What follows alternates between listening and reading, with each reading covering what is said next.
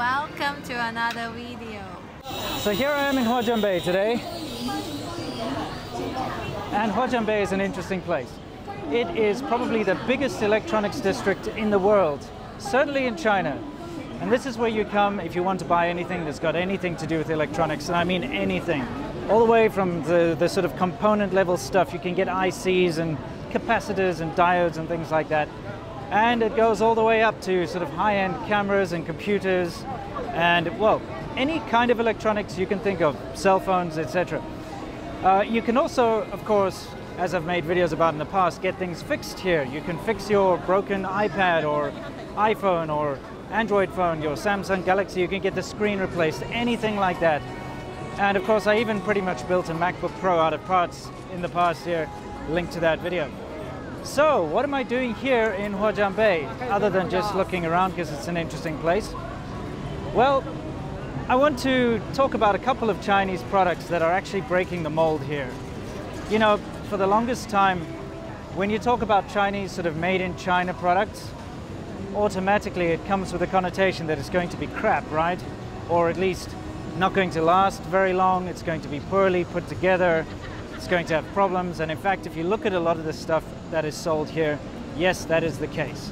A lot of it is very cheap, very chintzy, easy to break, very disposable, buy it, it'll work for a week, and then you throw the thing away.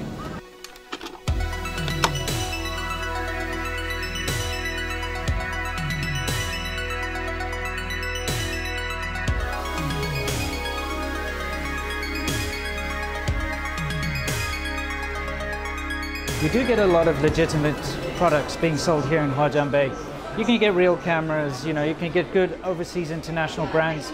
They are, of course, more expensive to buy here in mainland China than, say, Hong Kong.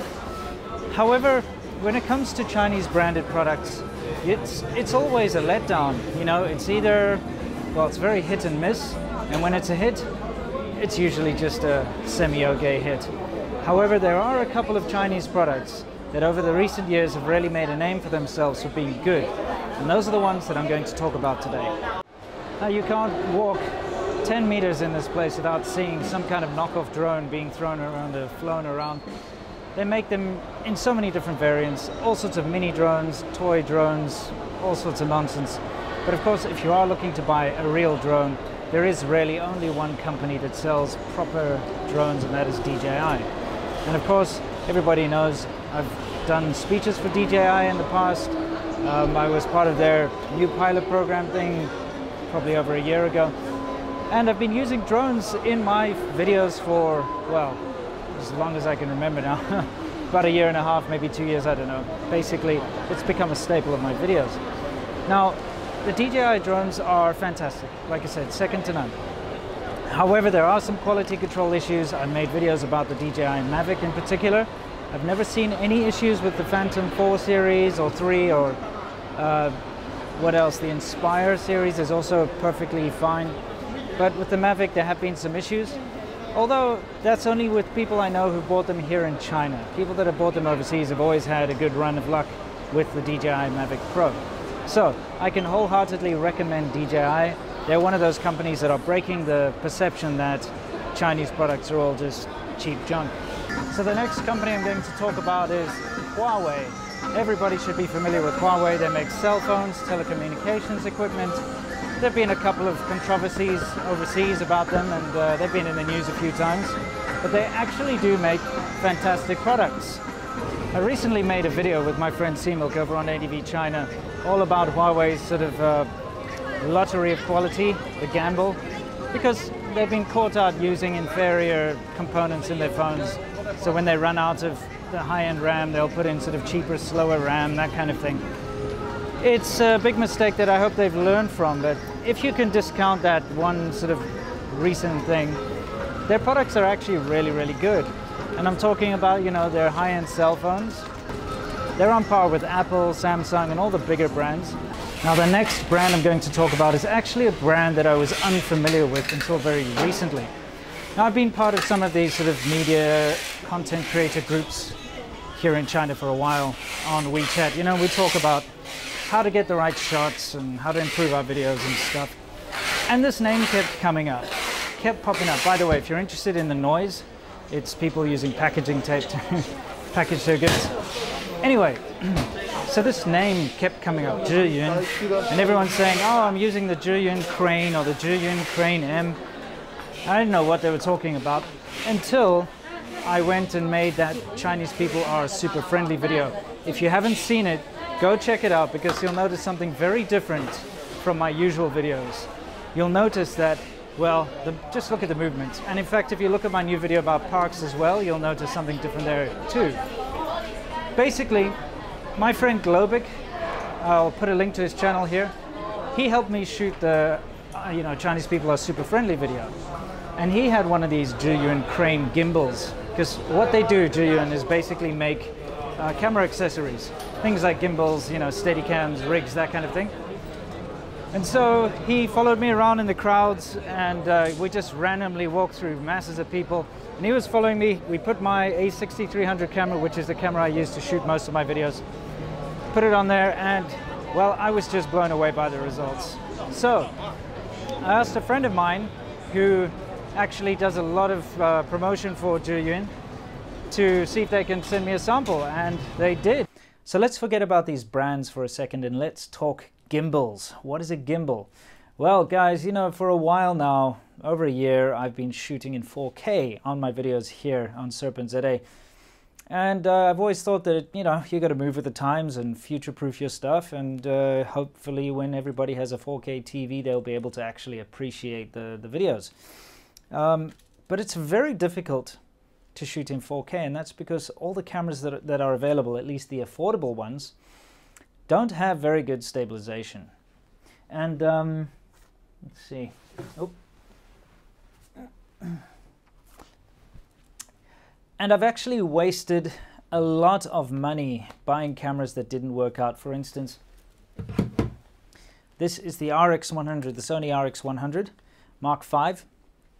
And it's one of the biggest disappointments to me because, well, it shoots 4K and for a point and shoot, look at this. It seems perfect. I thought this would be the most amazing camera ever. Uh, even after doing a lot of research on online, it seemed like the right one, but it overheats all the time. And when shooting in 4K, it's got, well, pretty much no stabilization. I've tried to use it in a couple of my past videos. It just comes out terrible. It's too shaky, gives you motion sickness. Uh, it's just unusable is what it is, to be honest. If you wanted to shoot in 4K, you just can't do this unless it's on a tripod or unless you've got the most steady hands in the world, and it's certainly not good for the, the sort of walk and talk vlogging that I usually do. So this was very, very expensive. It's like a thousand US dollars or something like that. And it's, um, you know, I bought it and haven't used it at all. And to be honest, I, I, was so disappointed. I've been trying to sell it off at like half the price I bought it for just so I can reclaim some money. But, but, I've been saved. And I'm going to explain to you why I've been saved.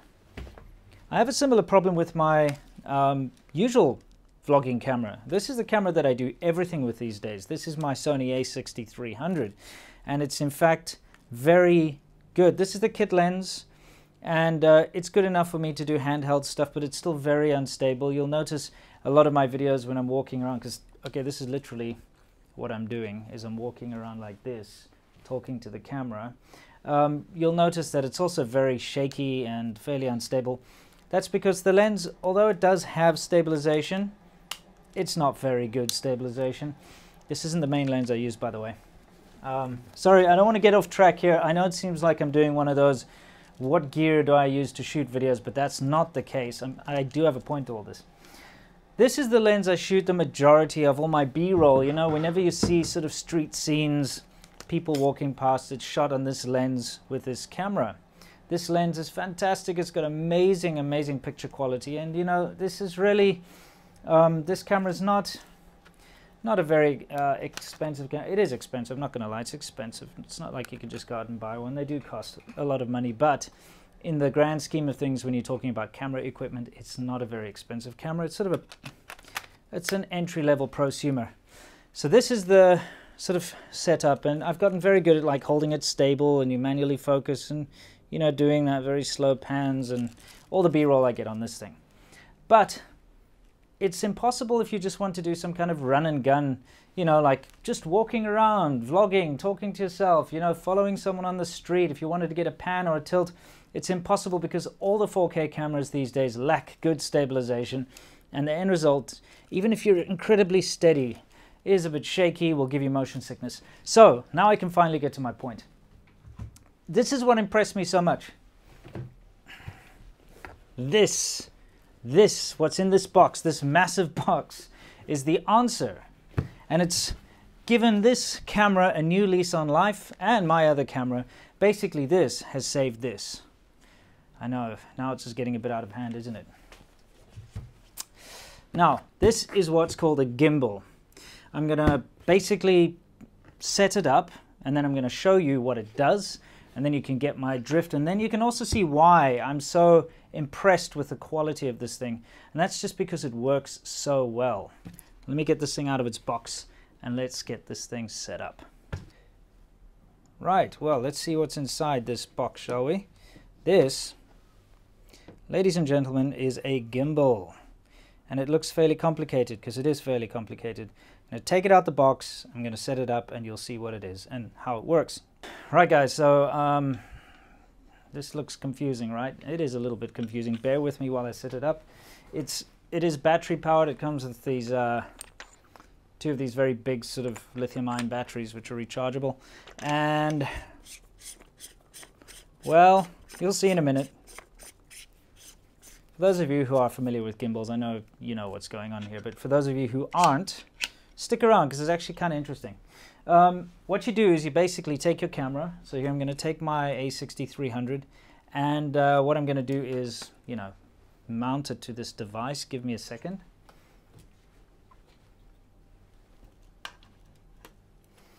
It, now the trick is to actually balance, you have to basically balance your camera on here. So give me a sec.